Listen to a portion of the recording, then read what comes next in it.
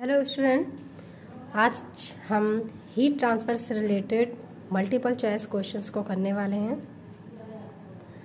तो चलिए स्टार्ट करते हैं। फ़र्स्ट क्वेश्चन से हमारा फ़र्स्ट क्वेश्चन है heat energy received by the earth from the sun is due to sun के द्वारा अर्थ पे जो हीट एनर्जी रिसीव की जाती है, वो किसकी वजह से होती है?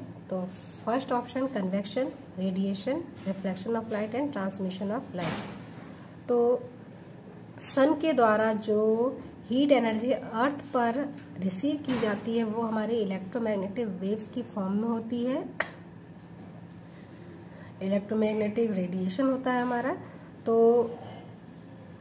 यहाँ पर जो हमारा ऑप्शन होगा, वो रेडिएशन राइट ऑप्शन होगा।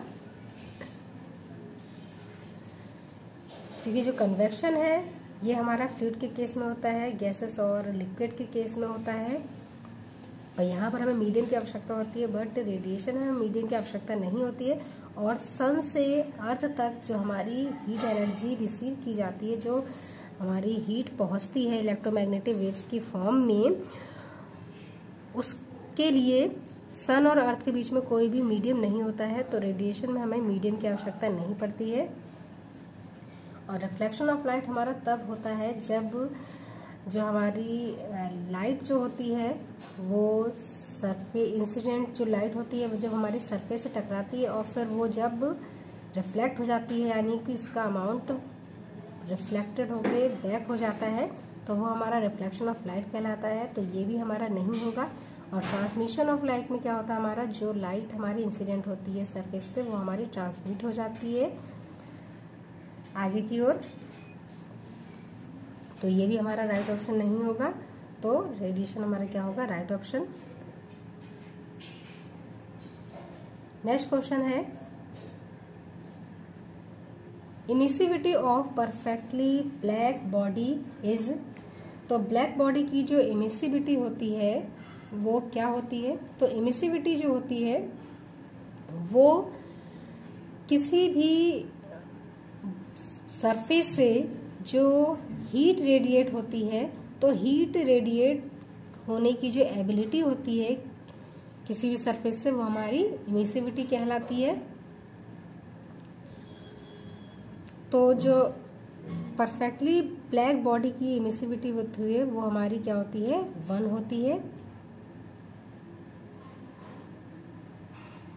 नेक्स्ट क्वेश्चन है absorptive power of perfectly black body is तो जो हमारी ब्लैक बॉडी होती है तो ब्लैक बॉडी हमारी ना ही तो ट्रांसमिशन करती है हीट का और ना ही हीट को रिफ्लेक्ट करती है।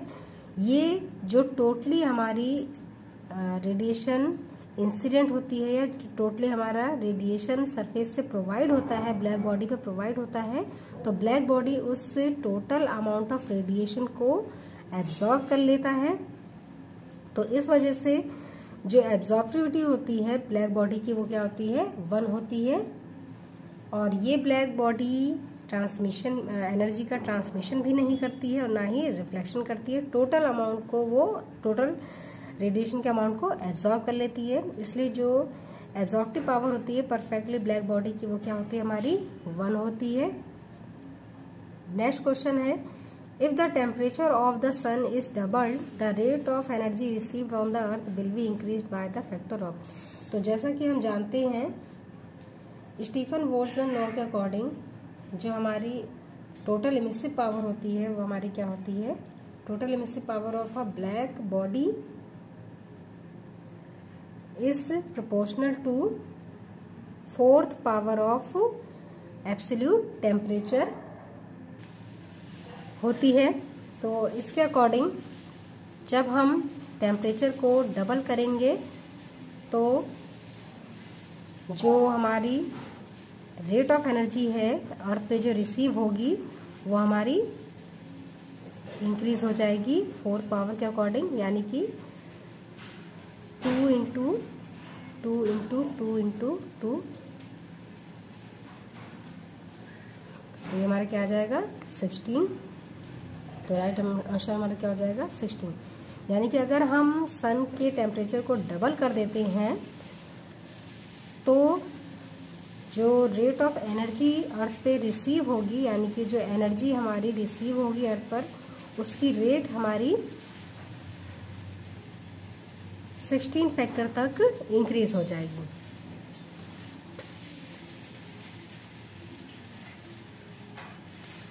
अगला क्वेश्चन हमारा a body at high temperature T kelvin radiates heat at rate proportional to तो हाई टेम्परेचर टेम्परेचर पर, जो टेम्परेचर हमारे यहाँ पर क्या है? टी कैलविन है।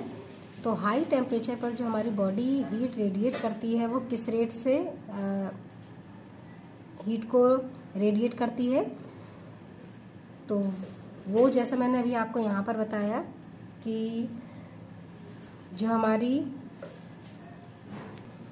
according to Stefan Boltzmann law जैसा कि यहाँ पर मैंने आपको बताया था कि जो एमिसिव पावर होगी वो एब्सोल्यूट टेम्परेचर की फोर पावर के प्रोपोर्शनल होगी। तो ये क्या होगा यहाँ से? फोर्थ एब्सोल्यूट टेम्परेचर की फोर्थ पावर के प्रोपोर्शनल होगी। तो राइट ऑप्शन हमारा क्या हो जाएगा? Fourth power of temperature next question है the process of heat transfer in which heat is transferred with actual migration of medium particles is known तो ऐसे जो हमारा हीट ट्रांसफ़र होता है, उसमें किस प्रोसेस में या फिर किस मोड में जो हीट का ट्रांसफ़र होता है, वो मीडियम पार्टिकल के माइग्रेशन के द्वारा होता है। तो ये जो प्रोसेस होता है हमारा मीडियम पार्टिकल्स का जो माइग्रेशन होता है, ये एक्चुअली हमारा कन्वेक्शन में होता है। जहाँ पर हमारे फ्लूड यूज़ किया जाता है और वहाँ पर हमें ये प्रॉपरली दिखाई देता है कि किस तरह से मीडियम के पार्टिकल्स माइग्रेट होते हैं एक प्लेस से दूसरे प्लेस पे। तो राइट ऑप्शन हमारा क्या हो जाएगा? कन्वेक्शन। नेक्स्ट क्वेश्चन है, a black body is at a temperature of 500 kelvin, it emits energy at a rate which is proportional to तो जैसा ही मैंने आपको ऊपर बताया था कि according to Stefan Boltzmann law जो हमारी एमिसिव पावर होगी, वो प्रोपोर्शनल होगी fourth power of absolute temperature तो यहाँ पर टेम्परेचर हमारा क्या है? 500 हंड्रेड कैलविन तो ये क्या हो जाएगा हमारा? राइट ऑप्शन 500 की पावर फोर अगला क्वेश्चन है if a equal to point seven two r equal to point two four then the value of T is तो ए हमारी एब्जॉर्बिविटी को शो कर रही है आर हमारी रिफ्लेक्टिविटी को शो कर रही है, और टी हमारे ट्रांसमिटिविटी को शो कर रही है। तो जैसा कि हम जानते हैं, किसी भी बॉडी के लिए एब्जॉर्बिविटी यानी कि ए रिफ्लेक्टिविटी और ट्रांसमिटिविटी इन तीनों का जो सम होता है वो वन के इक्वल होता है।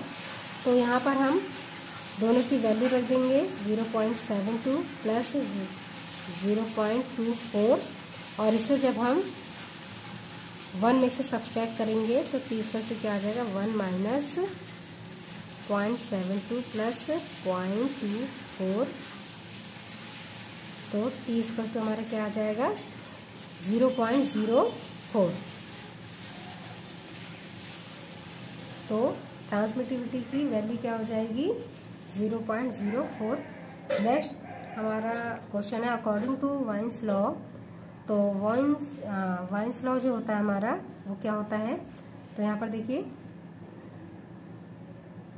मैक्सिमम वेवलेंथ और टेम्परेचर का जो प्रोडक्ट होता है, वो कांस्टेंट होता है अकॉर्डिंग टू वाइंस लॉ तो राइट ऑप्शन हमारा क्या हो जाएगा?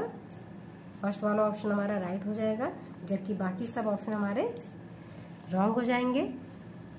तो ये हमारे कुछ क्वेश्चंस थे हीट ट्रांसफ़र से रिलेटेड